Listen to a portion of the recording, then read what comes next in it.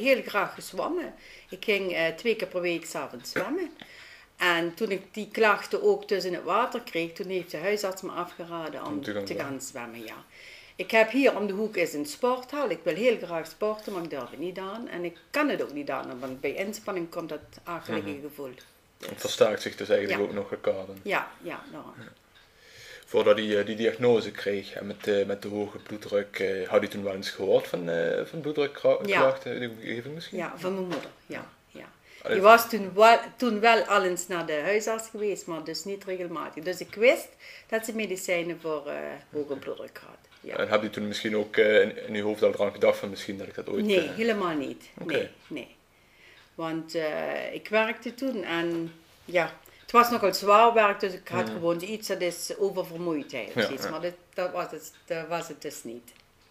En dat werk, ben, ben u daarmee toen ook eh, doorgegaan? Of, eh? Ja, ik ben er wel mee doorgegaan. Maar ik had in eerste instantie tabletten gekregen die ik helemaal niet kon verdragen. Dus ik was dood en doodmoe. Ja. sorry. Eh, als ik naar de bushalte liep, dan ging ik echt gewoon op de stoeprand zitten, want ik was gewoon doodop. Dus dan bleek dus dat die tabletten verkeerd waren. Dus, maar ik ben dus wel meteen teruggegaan naar de huisarts.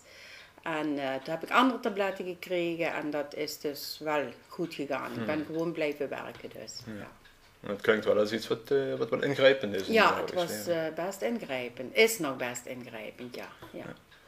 En heb je ook het gevoel dat er iets met, met die ingrijpendheid van die situatie gedaan wordt door je omgeving? Wordt er goed mee omgegaan, niet mee omgegaan? Eh, ja, ik denk het toch wel. Vooral van mijn huisarts heb ik heel veel steun, Mhm. dat wel.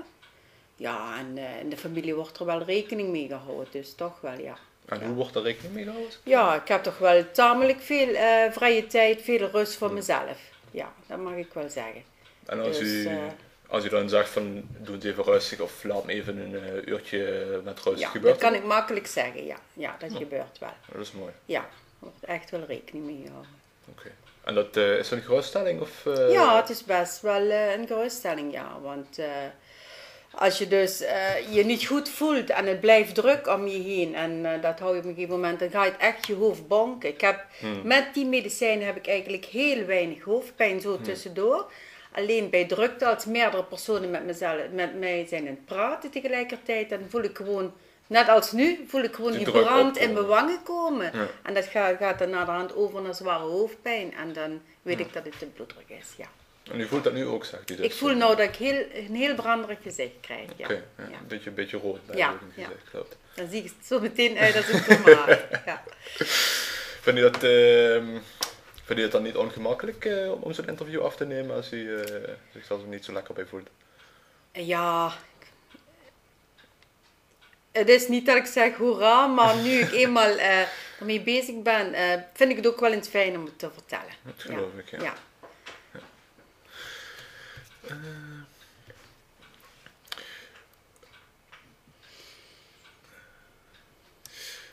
veel mensen die eh, last hebben van bloeddruk eh, krijgen een dieet aangeraden van de arts, eh diëtist. Eh, is dat bij u ook het geval geweest? Ja, ik heb gewoon een zoutarm, gewoon een zoutarm dieet. Dus niet zoutloos, zoutarm. Ja, En en dan probeer ik dus ook zoveel mogelijk eh, ja, eh, me eraan te houden. is gewoon wat minder zout in het eten. Nee, Veel mensen koken heel zoutig en dat, Hm. Ja, dat heb ik eigenlijk niet zo, nee. En dat is voor mijn gezin, die eten gewoon allemaal mee. Je merkt het eigenlijk niet. Volgens mij zijn ze het allemaal zo gewend. En, Ja. eh, het is dus niet zoutloos, zoutarm. Dus het is niet echt een ingrijpend dieet waar je dag en nacht je hele Nee. voeding aan moet Nee, aanpassen. nee. En eh, fruit is goed. En, en dat lopen dan, eh, dat is geen dieet, maar dat hoort dus ook in, in dat kringetje thuis. Veel ja. wandelen, ja. ja, dat wel. En fruit en groenten, gewoon een beetje opletten wat je eet, niet, eh, niet al te vettig. Ja, Oké. En eh, hoe zit het bijvoorbeeld met alcohol? alcohol niet, absoluut niet. Ik, heb, eh, ik drink wel een glaasje alcohol, glaasje wijn bij eh, een kerstdiner, want dat vind ik heerlijk. Want anders ontbreekt er iets, dat vind ik gewoon erbij horen. Daar geniet ik ook van. Maar dan merk ik ook meteen het die brand in het gezicht. Ja, dan moet het dus ook bij één glaasje blijven, maar dat vind ik ook Om de traditie erbij te Ja, ja, voor de rest drink ik geen alcohol. Ja, dat is ook Nee. prima inderdaad. Ja, leefstijl heb je net al een beetje over verteld eigenlijk. Met, eh, je gaat veel wandelen. Ja, Ja, het uh, dieet is er een beetje op aangepast. Um, zijn er nog andere zaken in uw leefstijl die verandert? Ik verander. Bijvoorbeeld uw werk. Ik, uh, hoe, hoe zit het met... met, met, met uh... Ik ben wel eens zeven maanden uit, uit het werk geweest. Ja. omdat ik aan de kassen niet goed werd. En toen hadden ze... Ik heb ook een te lage bloedsuiker. Hmm. En daar hadden ze een diagnose van uh, dat de hoge bloeddruk en de lage suiker, dat heeft dus op een of andere manier uh, tegen elkaar gebot, zal ik maar zeggen. En dat, toen ben ik wel zeven maanden uit mijn werk ja. Situatie geweest, ja. En dat was uit preventie of kon u echt niet anders op dat moment? Nee, want ik had zo'n klap gekregen. Ik had echt zoiets van uh, ik had een hele snelle hartslag. Normaal heb ik een hartslag van 63. Ik had hem nou echt mm. 120, bijna dubbele. Ja. En de bloeddruk over 200 bij 120, geloof ik, ja. ja en dat was echt zo'n... Uh, ben ik ook meteen, uh, heeft de huisarts me laten komen. Ze hebben van het werk uitgebeld. ben ik meteen naar naartoe gegaan. Ja. En toen heb ik echt een flinke klap gehad. En dan ben ik echt zeven maanden uit het werkproces geweest. Ja. En dat heeft, daarna ben ik gewoon weer met een paar uurtjes begonnen. Mm maar ze kunnen niet echt vertellen waar het vandaan kwam. Dat kan al eens gebeuren, zegt de huisarts. Ik heb het nou twee keer gehad. Hmm. En ze kunnen uh, niet zeggen hoe het ontstaat, uh, waar het vandaan komt. Okay. Dat je in ene keer eh, zo'n hoge bloeddruk en een hele uh, snelle hartslag krijgt. Maar ze kunnen je niet zeggen van hoe het ontstaat. Hoe het nee, nee. Dus er is eigenlijk ook niks wat je zou kunnen doen om, om te voorkomen dat nee, die situatie... Nee, nee alleen vervelend. Ja, dat is inderdaad. Uh, ik heb het nu twee keer ervaren, maar het is niet prettig. Want het is net of een sneltrein door je lichaam rijdt. Dat is oh, heel, heel raar, ja. En, dan ben je ook eh, helemaal van de kaart. Ja. ja. En u zei, u, u werd niet goed, uh, ben u dan echt flauw gevallen of werd u Nee, ik kreeg uh, tinteling in mijn gezicht. Mm -hmm. Ja, dat was eigenlijk het.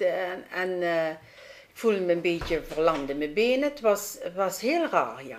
Ja. ja, het was echt, want ik zat in de kassa en het ging gewoon niet meer. Ik heb toen uh, alarm geduwd op de bel, ik ben die bel blijven vasthouden. Dat is wat je kunt doen waarschijnlijk. En, uh, en het gekke was, ik voelde steenkoud aan, en terwijl ik normaal mijn bloeddruk heel warm had. Maar ik was steenkoud, mijn handen, alles, want mijn collega's schrok echt toen ze aan me kwam. En ze kunnen het niet verklaren. Dit, uh, dit gebeurt al eens vaker bij mensen, maar ze kunnen niet verklaren hoe en wat, de artsen. Dus dat, u, ik ben niet de eerste, dus het is ja, ja. Dat werd u dus door de arts uh, Ja, verteld. door de arts okay. werd me dat verteld. Ja, maar ze kunnen het dus niet verklaren. Ja.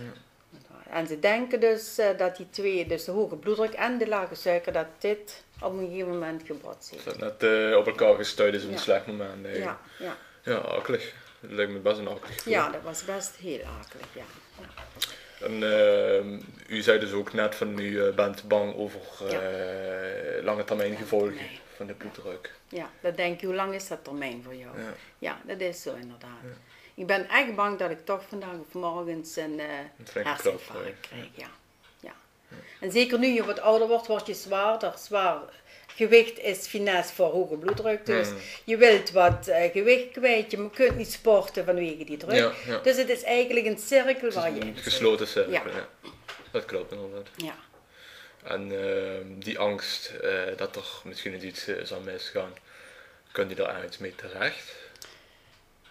Ja. Praat je daar wel eens over?